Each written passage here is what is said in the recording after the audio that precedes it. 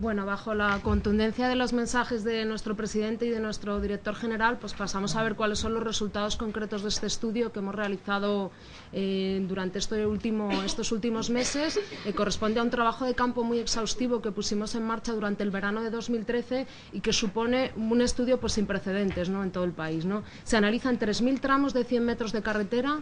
Es un estudio que tiene una representatividad estadística muy grande y bueno, estas, estos tramos se recogen de manera aleatoria a lo largo de todo el país. O sea, examinamos absolutamente todas las provincias de, de la península y se valora tanto la red de carreteras del Estado como las redes autonómicas. ¿no? Eso nos permite conseguir esa representatividad. Este valor de los 3.000 tramos de 100 metros supone 3 millones de metros cuadrados de pavimento, supone recoger datos de 3.000 señales verticales de código. En cada uno de esos puntos se recoge un montón de información sobre esa señalización vertical que es tan importante de cara, bueno, pues ya no solo durante el día recibir la información, sino también durante la noche bajo condiciones climáticas adversas. De la misma manera, las marcas viales nos proporcionan una información valiosísima para una eh, circulación segura y cómoda, los elementos de balizamiento y las barreras metálicas. Sí que me gustaría incidir sobre el mensaje mensaje de que valoramos estado de conservación de lo que hay. No estamos valorando carencias, que en algún otro caso también las puede haber.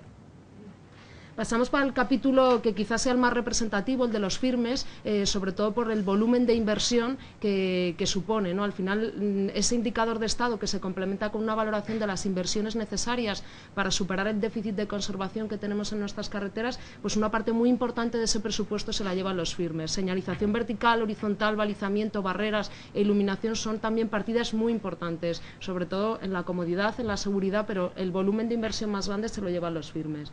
Lo que estamos valorando valorando, les he puesto aquí algunas fotografías, valoramos que vaya baches en nuestras carreteras, eso por supuesto lo valoramos negativamente, valoramos eh, eh, datos sobre las grietas, el agrietamiento grueso, las roderas, que son ese hundimiento que se produce en la zona de la rodada y que es tan incómodo cuando estamos circulando y que también puede generar algún problema de seguridad. ¿no? Todos esos factores se están valorando en, en cada uno de esos tramos, de esos puntos en los que paramos.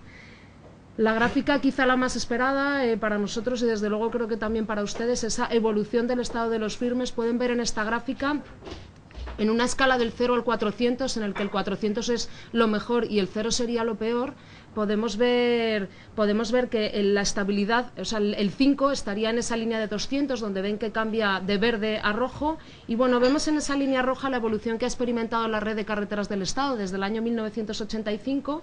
Y bueno, ya en la última campaña, en el año 2011, poníamos de manifiesto eh, que estábamos en valores similares a los del año 85, ¿no? ese valor de 190. Eh, la, tendencia actual, ese descenso gravísimo de las inversiones en rehabilitación de firmes, en renovación de los firmes, pues supone que se haya producido un descenso. ¿no? Es lo que esperábamos si no se producía un, cambio de timón que desgraciadamente no se ha producido y que demandamos de cara a los presupuestos del año 2015. ¿no? Esa pérdida de, del valor de, de en 14 puntos en la red de carreteras del Estado, que sí cabe más preocupante en el caso de la red autonómica y de diputaciones forales, que es esa línea, esa línea azul. ¿no? Entonces, bueno, ya no solo nos preocupa esa situación en la que nos encontramos, sino también el cambio de las pendientes. ¿no? Veníamos hacia abajo y la pendiente se va haciendo más hacia abajo. ¿no? El golpe de timón yo creo que está justificado y esperamos que se produzca eh, lo más rápido posible. También por dar alguna referencia a cómo, son, cómo están cada uno de los territorios, las comunidades autónomas, eh, pues hemos incluido este valor que hemos llamado indicador territorial del estado de los firmes y que supone una mezcla, una, un valor ponderado entre lo que sería el valor de la red de carreteras del Estado y el valor de la red autonómica. El interés de este estudio no es decir que el Ministerio de Fomento tiene mal sus carreteras o que una determinada comunidad autónoma tiene mal unas carreteras. Nosotros estamos valorando la red de carreteras en su conjunto porque creemos que el usuario demanda unas carreteras en buen estado independientemente de quién sea el titular. ¿no? Y de hecho muchas veces el usuario ni siquiera sabe quién es el titular de la vía. ¿no? Queremos una red de carreteras en buen estado y de manera homogénea, independientemente de los titulares. Por lo tanto, este, este es el indicador territorial que, el que les estamos mostrando en esta gráfica. ¿no? Pueden ver en la zona central la media nacional de 161, les recuerdo que el 5, el aprobado, está en el 200, por lo tanto pues estamos en una situación eh, por debajo de lo, que, sería deseable y vemos eh, territorios que están en un buen estado, pues podríamos destacar por ejemplo Extremadura, País Vasco y otra situación de otros territorios que, bueno, pues tienen que hacer un esfuerzo inversor superior si, quieren, si queremos volver a una situación adecuada de nuestra red de carreteras. Este, este, mapa supone pues, la representación gráfica de la diapositiva anterior, donde pueden ver cuáles son los territorios que están mejor y cuáles son los territorios que están peor, independientemente de la titularidad de la red. Sí que quiero hacer hincapié en ese indicador territorial que hemos desarrollado en, esta campaña. Pasamos al aspecto siguiente, volveremos luego otra vez a cada uno de los temas en relación a las inversiones el estado de la señalización vertical. Este también es un aspecto fundamental para la comodidad y para la seguridad, eh, sobre todo durante la noche y bajo condiciones climáticas adversas. Si tenemos una señal que durante el día se ve bien, pero el material retroreflectante no está bien porque hace mucho que no se repone, pues difícilmente lo vamos a ver durante la noche, difícilmente lo vamos a ver con niebla, con lluvia y con situaciones en las que se pueden producir eh, pues, circunstancias muy desagradables. Bueno, vamos a ver esa, también esa evolución. A partir de ahora la escala ha cambiado, ya no es ese 0,400, sino que en todos los elementos de equipamiento que vamos a ver de ahora en adelante eh, estamos en un valor del 0 al 10, ¿no? como las notas. El 10 es lo mejor y el 0 sería lo peor. ¿no? Por lo tanto, pues el aprobado está en el 5 y lamentablemente la señalización vertical vuelve a estar en una situación de suspenso. No se ha invertido en la reposición de la señalización y está claro que no es un elemento que se deteriore a una gran velocidad durante dos años, pero sí está claro que no puede mejorar en este caso. ¿no? Entonces, bueno, vemos esas tres décimas de empeoramiento en el caso de la red de carreteras del Estado, que se transforman en cuatro en las redes autonómicas y que nos hacen pues, que el golpe de timón tenga que llegar también, por supuesto, a este elemento del equipamiento.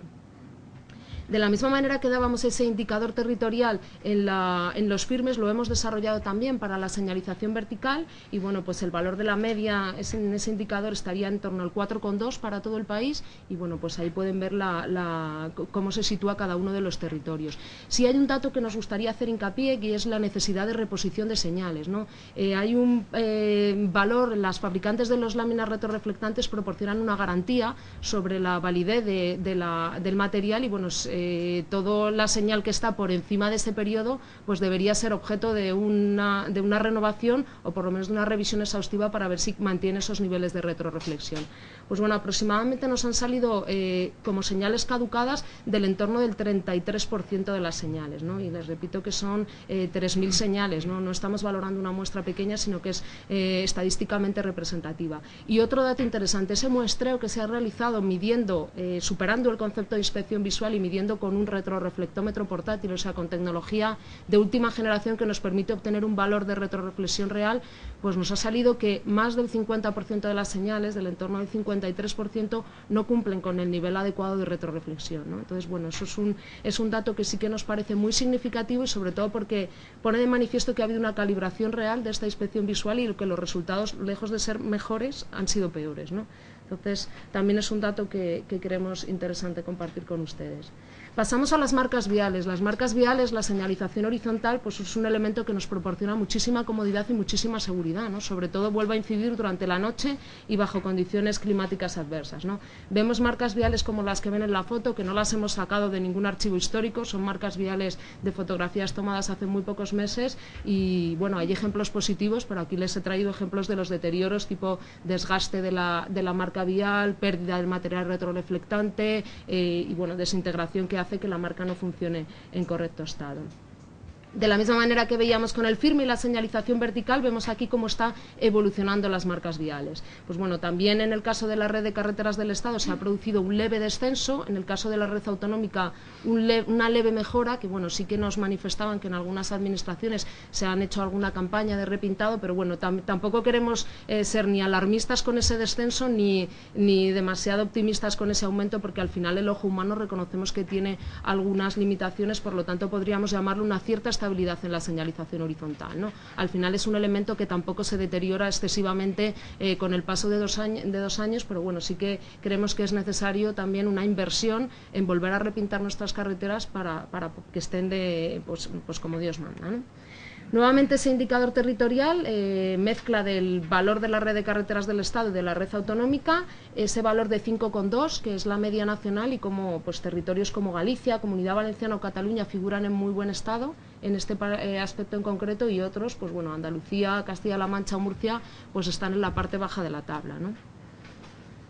Sí, otro dato que queríamos también hacer hincapié en cuanto a la señalización horizontal eh, se refiere a la a la necesidad de repintar. ¿no? Nosotros hemos estimado que tenemos que repintar aproximadamente 52.000 kilómetros de marcas viales. ¿no? Eso es un dato también a, tener en cuenta. En cuanto al estado de las barreras de seguridad, eh, quiero también incidir aquí que estamos valorando cómo están las barreras ya instaladas en las carreteras. O sea, eh, comprobamos cómo es ese estado de conservación. No vamos a valorar si necesitamos más o menos barrera, aunque sí que es verdad que hemos podido obtener un parámetro que también creo que es interesante. Y es que hemos identificado que en el 42% de los... Eh, hemos detectado obstáculos sin barrera en el 42% de los tramos analizados. Entonces, eso es algo que también deberíamos valorar, pero que no es el objeto de este estudio concreto. ¿no? Entonces, vamos a valorar cuál es el estado de conservación de esa barrera, si está oxidada, si le faltan tornillos, si tiene un nivel de coronación bueno, es decir, si está a la altura adecuada a la que debe funcionar, porque una barrera demasiado baja no funciona bien y una barrera demasiado alta tampoco funciona bien. En ocasiones los postes pueden estar en mal estado, la bionda puede estar eh, deformada, todo eso hay que reponerlo. Entonces, ese es el tipo de parámetros que estamos valorando.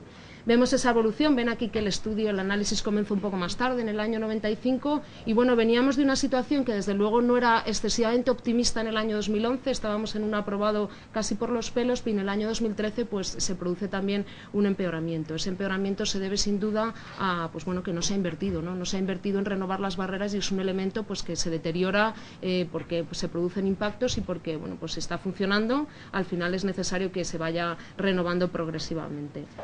Otra vez ese indicador territorial, esa media nacional en el entorno del 4,6 y hay algunas comunidades con datos positivos, no excepcionalmente positivos, pero sí que podíamos destacar Extremadura, Comunidad Valenciana, Galicia, Aragón, Castilla, León y Cataluña, Castilla-La Mancha y otros en situación eh, que no es deseable tipo Andalucía o Murcia. ¿no? Así que eh, recordar también que del entorno del 30-35% de los accidentes son salidas de vía en nuestras carreteras, por lo tanto eh, la barrera es un elemento que puede ayudar mucho en el caso de este tipo de, de accidentes. ¿no?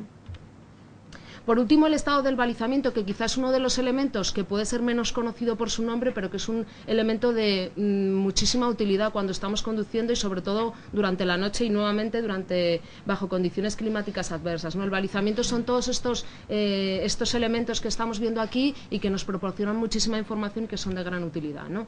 Es un elemento que siempre nos daba alegrías, por decirlo de alguna manera, porque se, eh, estaba muy bien situado en cuanto a las valoraciones y bueno, en esta campaña 2013 hemos visto que, aunque sigue estando por encima de la nota media, de ese valor de 5, pues le ha pegado un empeoramiento muy significativo. ¿no? Nosotros ese empeoramiento lo que estamos valorando es cuáles de estos elementos que veían anteriormente, cuáles están rotos, cuáles están, tienen la lámina deteriorada, cuáles no se ven bien, cuáles están mal orientados. Es decir, es un elemento que es necesario reponerlo y que es necesario revisarlo. Entonces, bueno, ese dato también es, muy significativo y nuevamente tienen aquí este indicador territorial en el que hay eh, territorios con, muy buenos resultados y otros territorios que se sitúan en una zona bastante negativa. ¿no? Y nos preocupa especialmente esa evolución que se ha producido en tan pocos años. En cuanto a la iluminación, que es un elemento también muy asociado a la comodidad y a la seguridad, los datos que les voy a poner ahora mismo sobre la mesa son los resultados de un muestreo realizado, como acaba de comentar nuestro director, con una medición con un luminancímetro, ¿no? es un elemento que no se puede valorar por inspección visual, y los datos que nosotros valoramos es la iluminancia, la ven en la parte de arriba de la diapositiva, que es la cantidad de luz que llega al pavimento. Entonces, pueden ver la evolución respecto a la campaña 2012 en relación a la campaña 2014, que es la que les presentamos hoy. ¿no? En su momento, eh, en el 2012, teníamos un 23, eh, perdón, un 41% de puntos que tenían una iluminancia correcta y ese valor en positivo se reduce este año un 18%. Es un descenso también significativo.